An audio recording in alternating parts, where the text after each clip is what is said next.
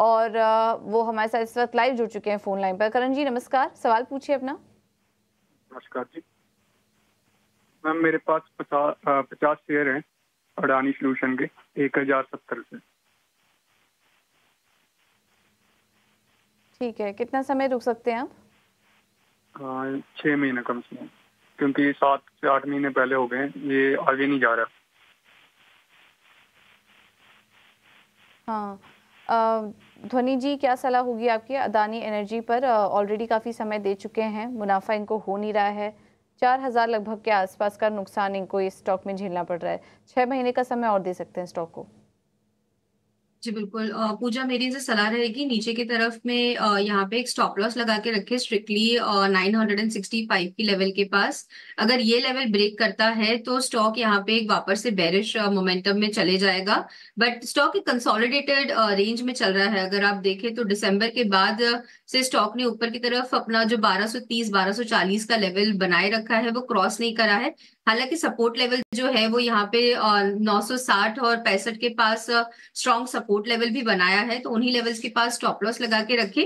Range के अंदर वापस से स्विंग ट्रेड आपको देखने को मिलेगा तो ऊपर की तरफ़ वापस से आपको बारह सौ साठ से पचास का लेवल देखने को मिलेगा तो नीचे की तरफ़ स्ट्रिक्टली 960 का स्टॉप लॉस लगा के होल्ड करें। नमस्कार पूछिए कि स्टॉक पे आपका सवाल है। हेलो। जी भुवनेश जी आ रही है आपको आवाज़? हाँ जी हाँ जी सर आ रही है। हाँ। मेरे पास एरेडा के फाइव हंड्रेड शेयर है। अच्छा। At the price of four fifty साढ़े चार सौ। हाँ जी।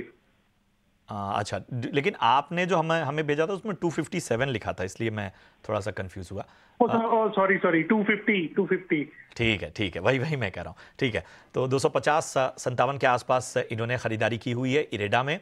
500 हाँ शेयर हाँ इनके पास हैं। भुवनेश जी मुझे बस ये बता दीजिए कि कितना रुक सकते हैं आप स्टॉक में? कितना समय और देना चाहते हैं? मैं साल के लिए रुक सकता हूँ। एक साल के लिए रुक सकते हैं। ध्वनि मैं आपके पास आऊँगा। इरेडा थोड़ी ऊपरी स्तरों की इनकी बाइंग है two fifty two fifty seven के आसपास। बताइए क्या करना चाहिए? प्रशांत जी इसके अंदर स्टॉक का जो अब नेक्स्ट सपोर्ट लेवल हमें देखने को मिल रहा है वो अराउंड 200 की लेवल के पास है।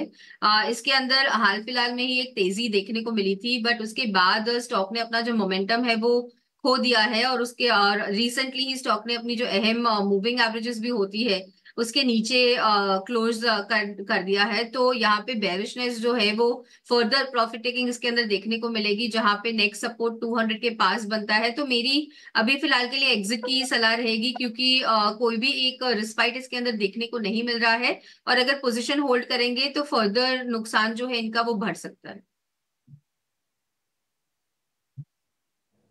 हम्म ठीक है तो ये है सलाह इरेडा पर आपके लिए।